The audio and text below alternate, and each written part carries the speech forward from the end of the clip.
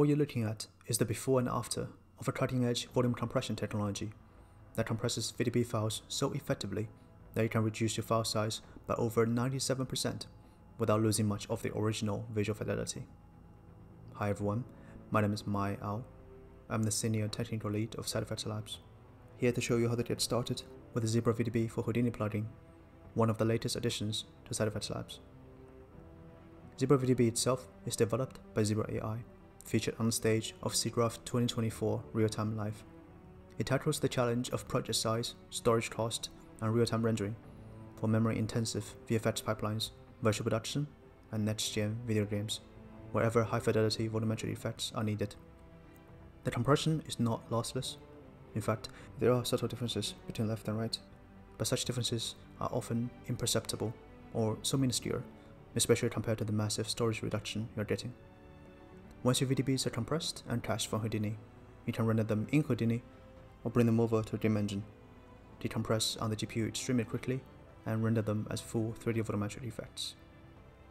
To try out the latest alpha version of Zibra VDB for Houdini, you need at least Houdini Production Build 20.5.487 and SideFX Labs 20.5.491. Once you have those installed, go to the help page of any of the lab's Zibra VDB nodes and follow the step-by-step -step instructions on the Getting Ready section. To follow the second half of the instructions, you need to open Houdini, drop down a Zibra VDB node in the geometry context. When everything is set up, head to the examples link in the help page and download the example scene file that we prepared for you. In this file, you can find three types of common use cases for Zibra VDB. Be sure to read the annotations as they contain useful information. Press 1 on your numpad inside your network view to jump to the first use case, the compression of static VDBs, such as clouds. Here I already cached the results. When you first open the file, you just need to press Save to Disk on the file cache node and the rendering and reloading buttons on the Zibra VDB nodes. Press 2 to jump to the second use case, where you can compress animated VDB sequences, such as pyro simulations. This example also shows two ways of approaching caching pyro simulations. The pros and cons are detailed in the annotations.